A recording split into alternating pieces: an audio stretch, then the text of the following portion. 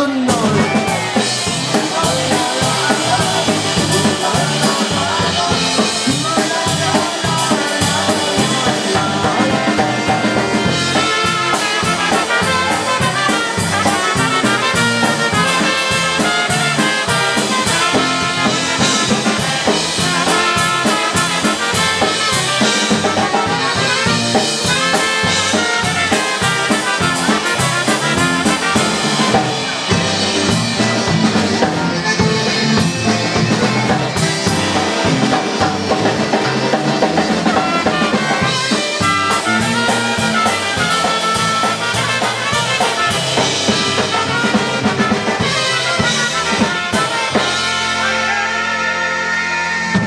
Thank you so much, Peter Spoka.